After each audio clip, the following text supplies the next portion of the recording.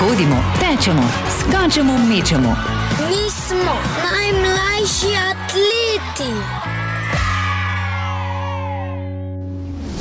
Živijo! Po zimi je še posebej pomembno, da se dobro ogrejemo, da imamo zagrete mišice, preden začnemo z vadbo. Najprej se dobro ogrejemo tako, da tečemo nekaj krogov ali nekaj minut, na to se pa dobro raztegnemo. Ana, jaz sem že ogreta. Super, zdaj pa gremo na raztezne vaje. Super, zdaj bomo raztegnili zadnji ste, zadnje stegenske mišice, noge bomo dale rahlo na razen, noge so stegene in greva eni nogi dol, na sredino in k drugi. Ponovimo nekaj krogov.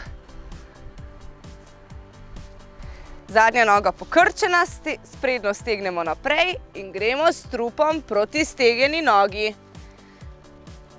Pa malo zadržimo.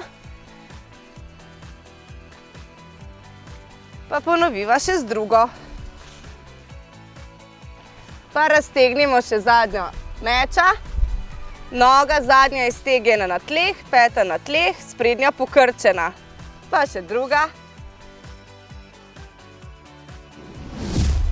Verjamem, da smo zdaj vsi ogreti in lahko nadaljujemo z vadbo. Se vidimo prihodnjič. Z vami teče in miga trgovina Čebelica Šentjur. Velika izbira igrač in oblačil za otroke.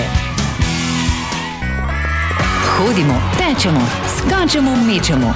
Mi smo najmlajši atleti.